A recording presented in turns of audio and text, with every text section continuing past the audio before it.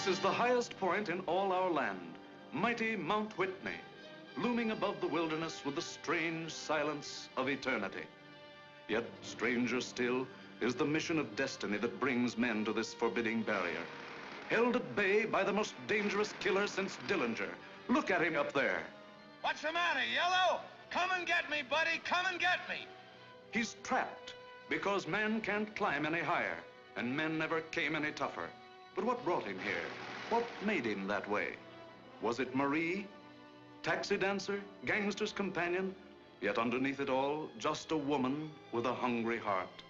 Oh, Roy, please don't send me back to L.A. Let me stay. I want to be with you, Roy. Please let me stay, please.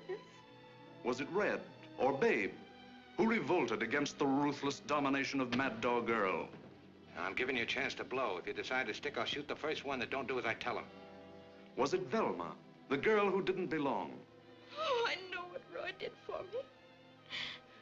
But I don't love him. Remember what Johnny Dillinger said about guys like you and him? He said you were just rushing toward death.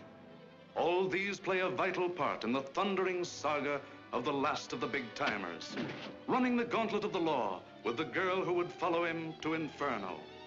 Human emotion, humanity itself, painted against the majestic canvas of High Sierra,